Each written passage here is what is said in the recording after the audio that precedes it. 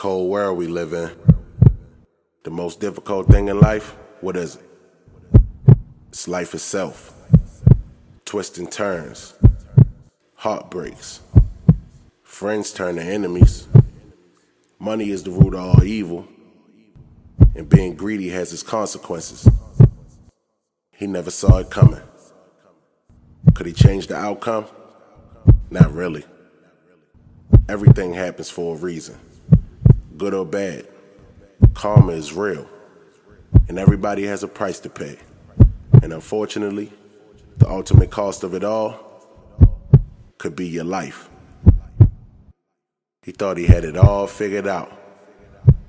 But really, he was just another victim of the ghetto.